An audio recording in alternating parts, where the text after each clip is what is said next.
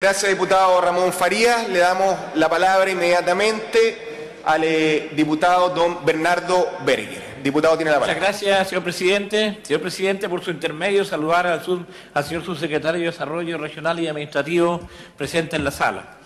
Señor presidente, de larga espera y muy anhelada es esta propuesta, aunque claramente no es lo que hubiésemos querido. Las reformas a la ley 19.175 para otorgar facultades a los gobiernos regionales para desarrollar sus competencias, funciones y atribuciones, tanto de, de, forma directa como en otros organismos dependientes de la Administración del Estado, me parece que está más rodeada de buenas intenciones que de otra cosa.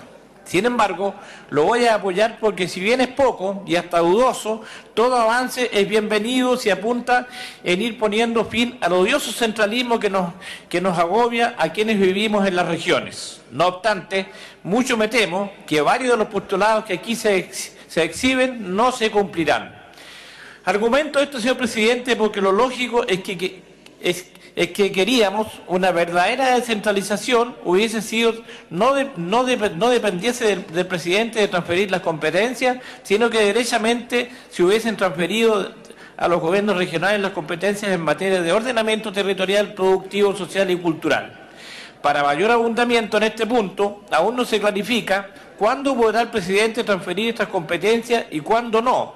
¿Será asunto discrecional para el Ejecutivo o hay mecanismos claros que, def que definen cuándo deben y cuándo no? La descentralización de competencias de los gobiernos regionales, tal como está planteado hoy en el proyecto de ley, no entrega certeza alguna en cuanto a que efectivamente los gobiernos regionales contarán con más atribuciones en el futuro.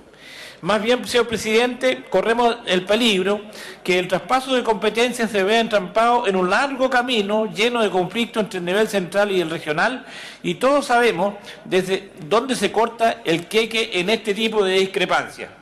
Si bien se contempla contar con estudios que determinen la conveniencia de traspasar o no nuevas competencias a nivel regional, según se plantea genéricamente, difícilmente se puede suponer que se tendrá un mecanismo exento de una mirada política subjetiva y discrecional al tomar la decisión.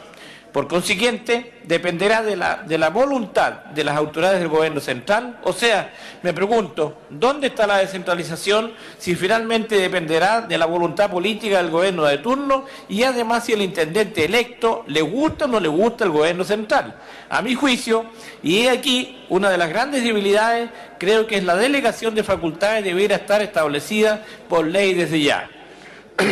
Ahora bien, señor presidente, refiriéndome al contenido del informe complementario de la Comisión de Hacienda y considerando que será el intendente, en su calidad de ejecutivo del gobierno regional, quien proponga al Consejo Regional su presupuesto y muchas otras atribuciones, creo de perogrullo y de una necesidad absoluta que los intendentes sean elegidos por votación popular, ya que es la única forma de asegurar que sus atribuciones estén en la línea de las proyecciones de desarrollo y la voluntad de las regiones, y no de caprichos políticos del gobierno central.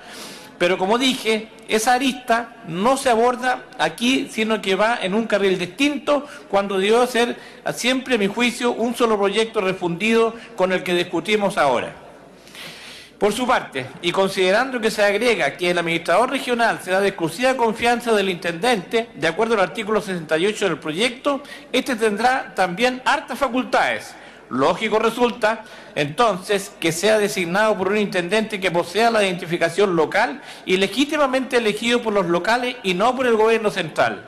De lo contrario, está ahí, hasta ahí nomás llegamos otra vez con la descentralización y la autonomía porque desvestimos un santo para vestir otro.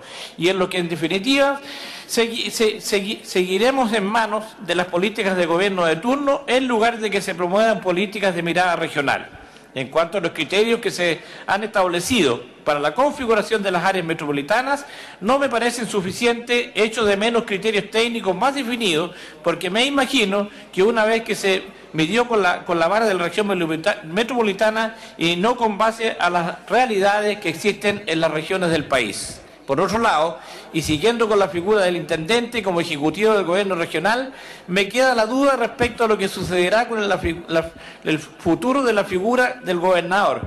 ¿Qué funciones y atribuciones tendrá uno y cuál tendrá el otro?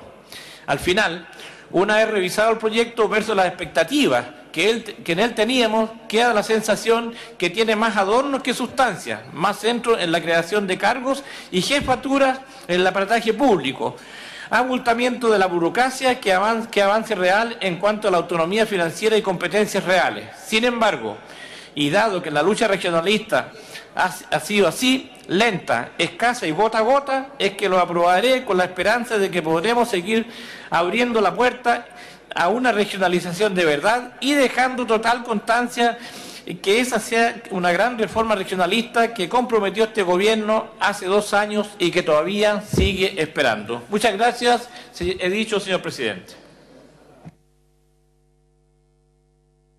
Gracias, diputado. Le damos inmediatamente la palabra a la diputada Denise Pascal.